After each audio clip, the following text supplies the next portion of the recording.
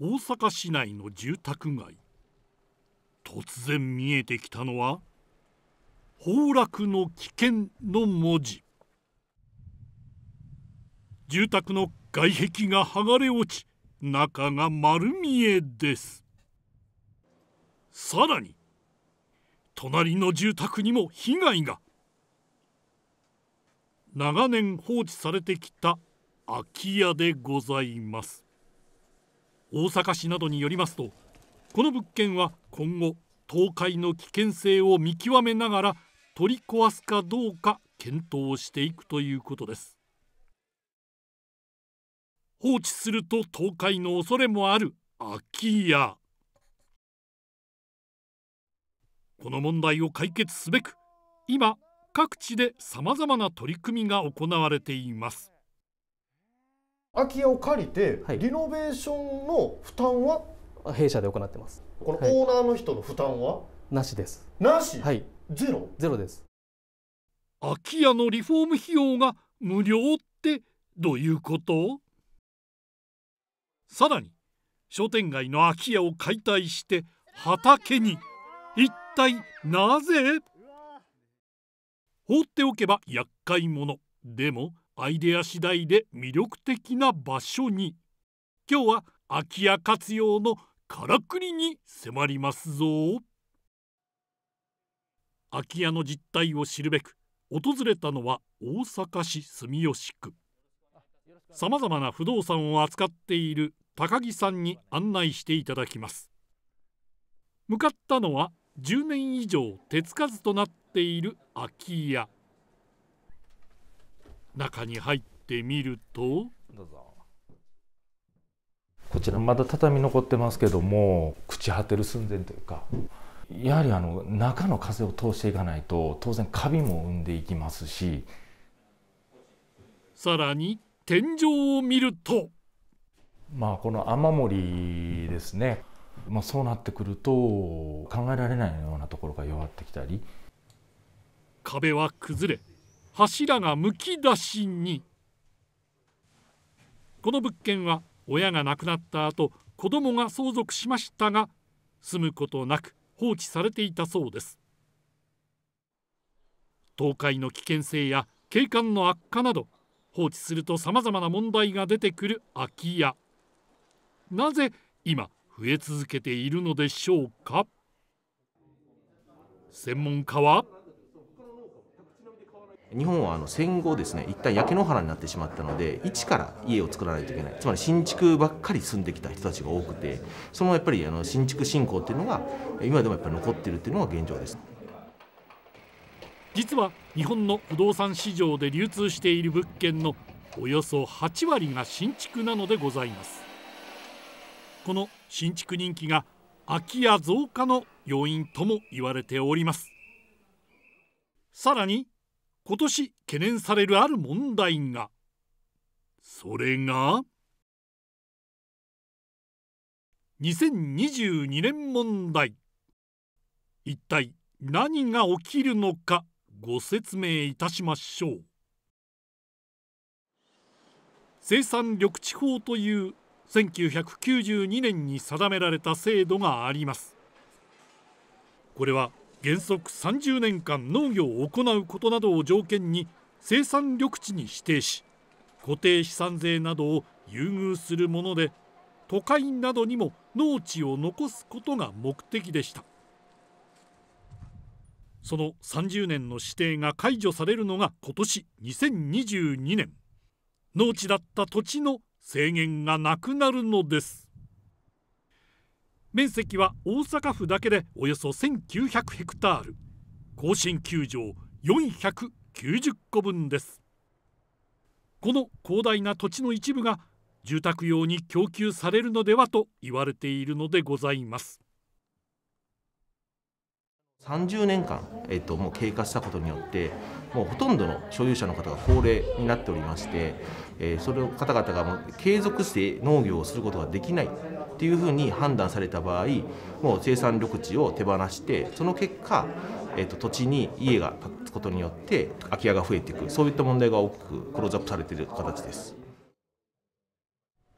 深刻化する空き家問題。そんな中不動産業界では新たな取り組みが始まっております。京都市内にやってきました、まあ、こちらね柳もしだれてて非常にね街全体趣がありますよね。あでこちらが今日お邪魔する場所ですね。えー、なんか綺麗な古民家おしゃれですね。京都市内を流れる白川に面した築115年以上。一棟貸しの宿泊施設。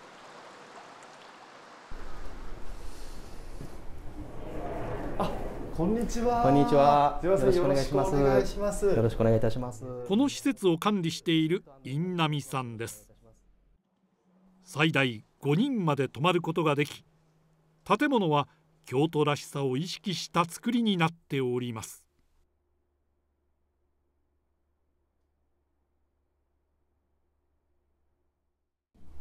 2階へ上がると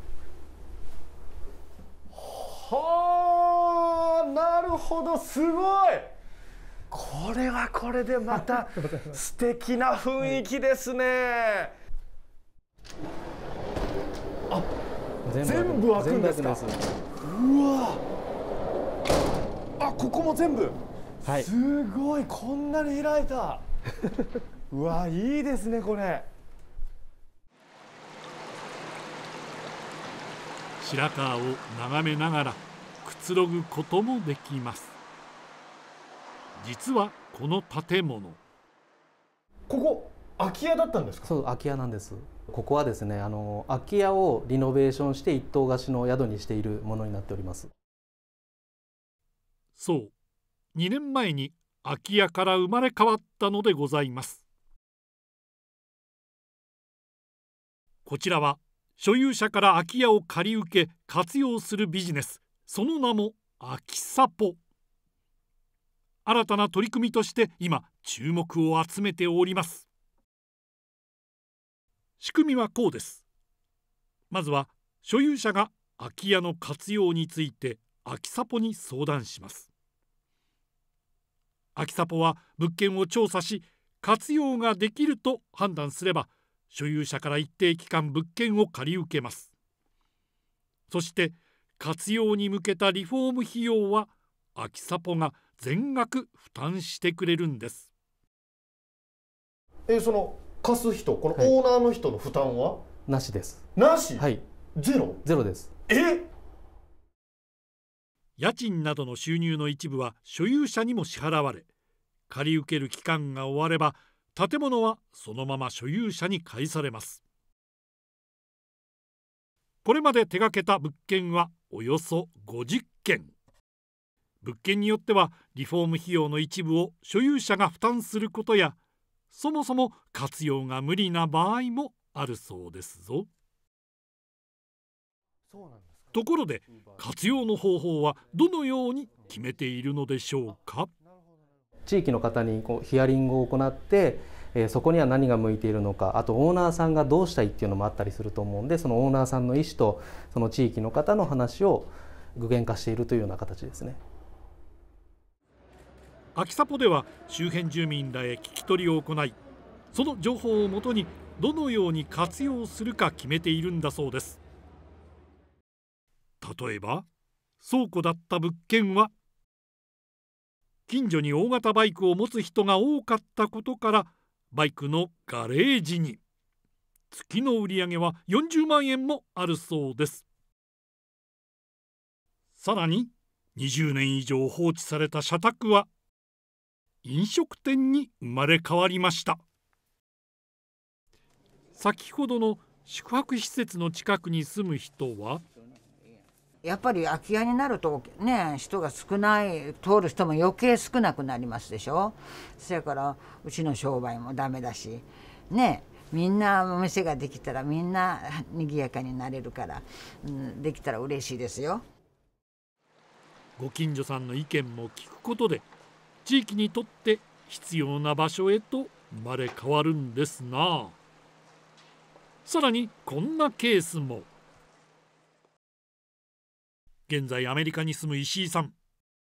親から相続した家の活用を依頼しました。契約期間は10年です。まあ、ゆくゆくは子どもたちにあのうちをあのあげることになると思うんだけどでも今はまだどうするか分からなくってそこで秋様のあのシステムが見つかったのでああこれはちょうどいい。10年間とりあえず人に貸してその後売るなり子どもたちに預けあげるなりしようと思いました。手放さずに管理してもらえるのも魅力なんですな。放置されている空き家を見ると本当に宝の持ち腐れというか、なので私はその空き家にはその可能性を感じていて本当に宝だと思っております。空き家を活用しにぎわいを取り戻している場所が他にもおよそ100年の歴史がある神戸市灘区の灘中央市場。こんにちは。よろしくお願いします。神戸市が指定するまちづくり専門家として活動している坂本ゆりえさん。まずは市場を案内していただきます。ここはもうお肉牛肉が。お肉たくさんある、へやっとねここお魚屋さんなんですけど本当にね種類が豊富で。うわい。いですね、毎日食べたいぐらい。なんか輝いてますね。生き生きしてますね。しかし一方でこうやってちょっとシャッターが降りてるところも目立ちますね、そうですね。市民の台所として親しまれてきましたが現在営業している店は最盛期の半分以下30店舗ほどになってしまいました。この市場で行っている空き家の活用とは？ちょっと開けてみますね、はい、おこれは？はい。なんだなんだ？え？なんか育ててるそうなんですよ。畑？そうです。畑なんですよ。あそうなんですか、はい。3年前にオープンした市場と畑でその名も市畑。空き家があった場所を更地にしいちごや菊菜など季節の野菜を中心に20種類ほど栽培していますこういう形でこう農園畑をやれば今まで市場に来てなかった方あの若いお母さんとかお子さんもあの買い物以外のきっかけができるんじゃないかな。でそこから市場を知って、まあ、買い物してもらう。そういう地域活性につながらないかなと思って始めました。運営の中心は坂本さんを含めた3人。神戸市の職員でまちづくりを担当していた佐藤さんと同じく神戸市の職員で農業が専門の丸山さん。それぞれが得意分野を生かしながら個人的な活動として取り組んでいるんです。月に2回行っている無料の収穫イベントは？一斉の